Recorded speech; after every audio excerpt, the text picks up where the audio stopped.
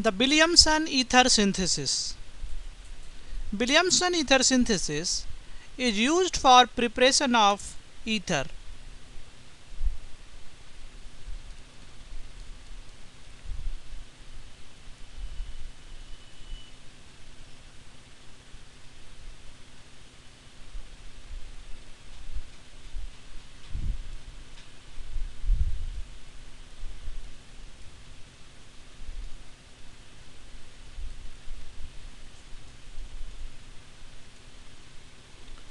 When alkoxide ion that is RO minus reacts with alkyl halide it gives ether.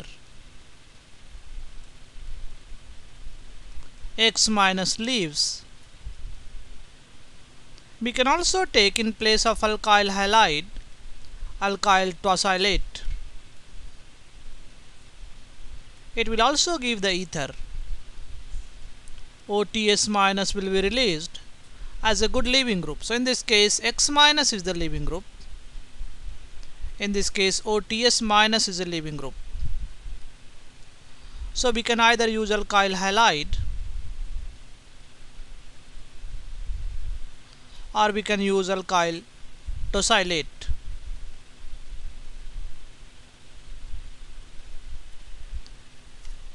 Now alkoxide ion that is formed is generally prepared from alcohol. So RO minus is prepared from ether, from alcohol. When alcohol reacts with sodium, this hydrogen is acidic,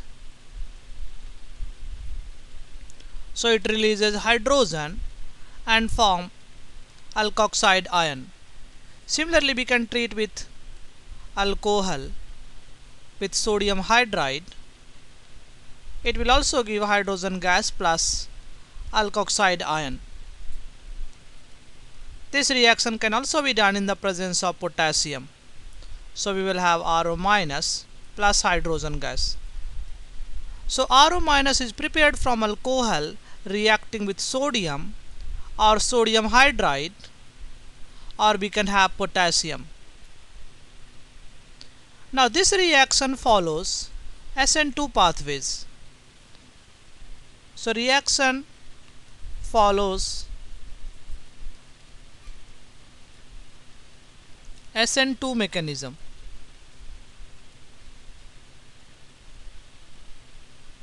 That is alkoxide ion attacks on alkyl halide and a leaving group is released.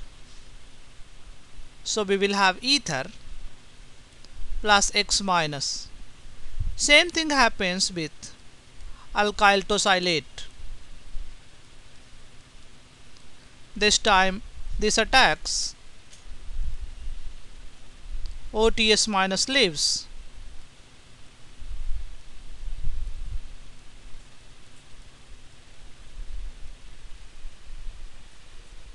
So either alkyl halide or alkyl tosylate both can be attacked by alkoxide ion.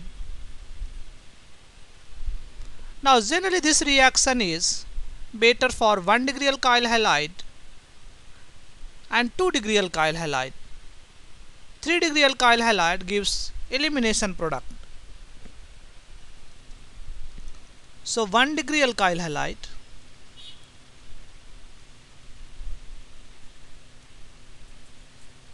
gives mainly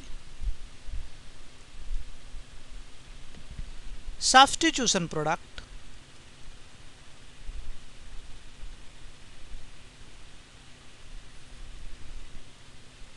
But 2 degree and 3 degree alkyl halide also gives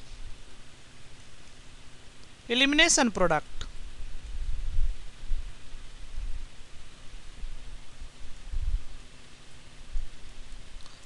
For example, if I have RO minus reacting with CH3Cl, in this case mainly SN2 product we will have ROCH3 or if I have CH2 CH CH3 CH2Cl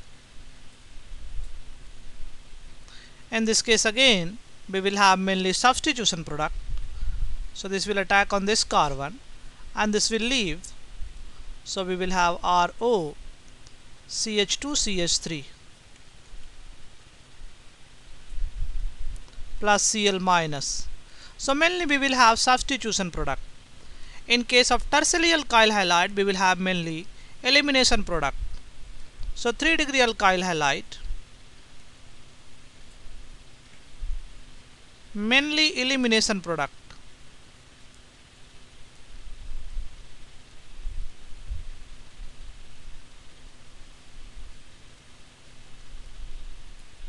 So let us say if I have RO minus and if this reacts with CH3 CH3 CH3Cl in this case this alkyl halide is 3 degree alkyl halide so we will have mainly elimination product. So elimination will be favored in this case. In this case it will act as a base. Previously this is acting as a nucleophile. So in this case RO minus is acting as a nucleophile. In this case also RO minus is acting as a nucleophile. For 3 degree alkyl halide it will act as a base so if it acts as a base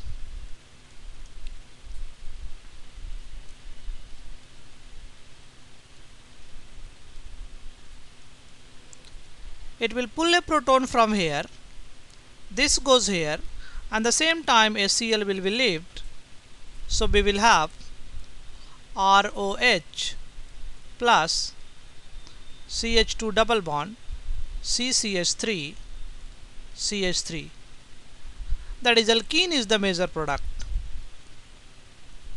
some side product we will also get from substitution but that will be the minor so alkene is the major product in this case. If I have 2 degree alkyl halide, substitution as well as elimination both product will be formed. So in case of 2 degree alkyl halide, we will have substitution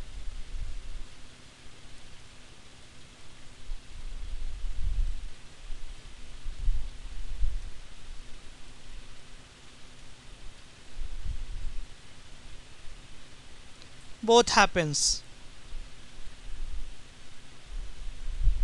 For example, let us say if I have OR minus and this reacts with CH3, CCl, hydrogen, CH3.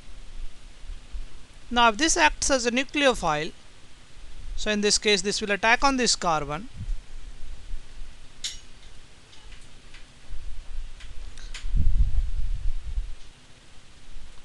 so we will have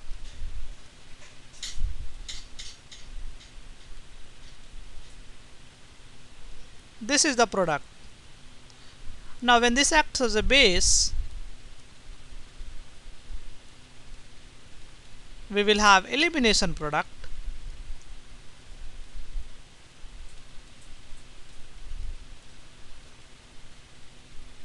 This will pull this proton. This goes here so this can be leaved so we will have CH2 double bond CHCH3.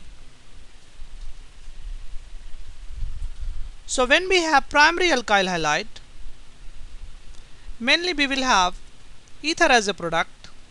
In case of tertiary and secondary alkyl halide we will have substitution as well as elimination both product so mainly 1 degree alkyl halide is used for preparation of ether.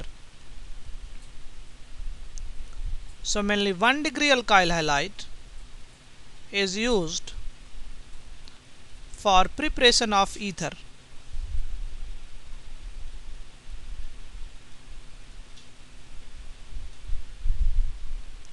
For example, let us say if I have this alcohol and this is treated with sodium.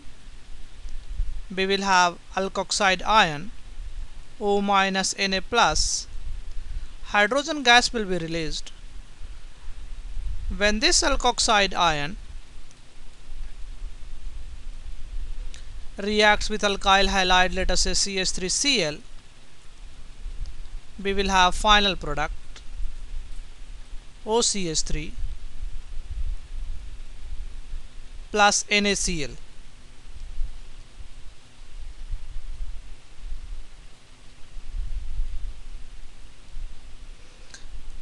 let us say what will be the product in this case? So first it is reacted with sodium and then it is reacted with CH3I so first step we will form an alkoxide ion and then it will attack on CH3 so finally we will have OCH3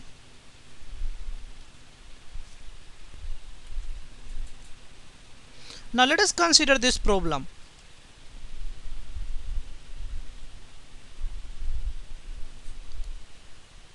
So this says why is the following reaction a poor method for synthesis of tertiary tert-butyl propyl ether. So this reaction reacting with tert-butyl bromide this gives tert propyl tert-butyl propyl ether.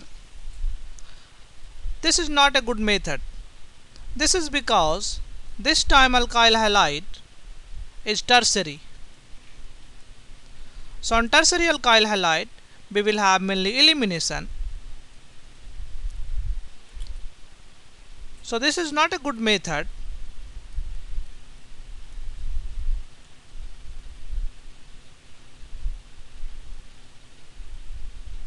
because alkyl halide is tertiary.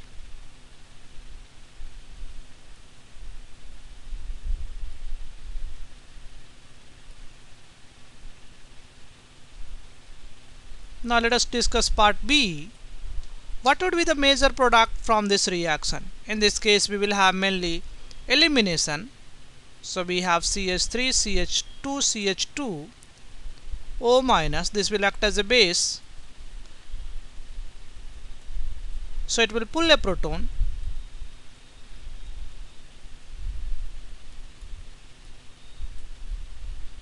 So this goes here and this goes here.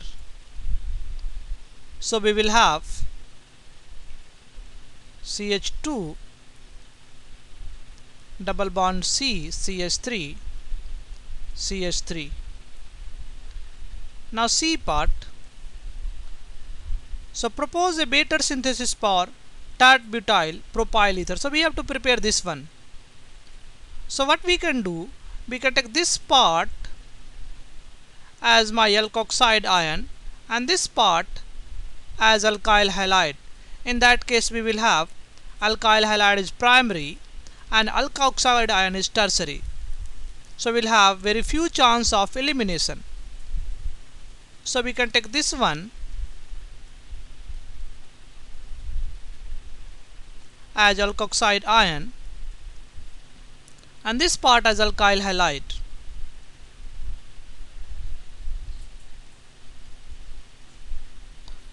If this reacts, this will give mainly substitution product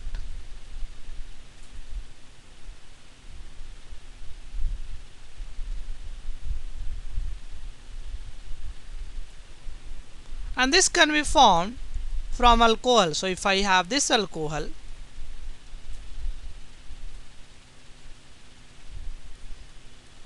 and this is treated with sodium it will give this alkoxide ion so this alkoxide ion when reacts with this alkyl halide we will have the desired product. So only important point we have in case of Williamson ether synthesis we have to take alkyl halide that should be primary. Alkoxide ion can be primary, secondary or tertiary but the alkyl halide taken it should be primary. So for better synthesis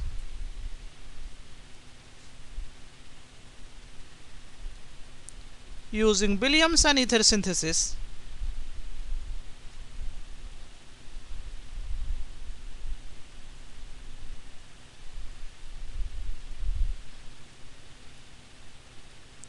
primary alkyl halide.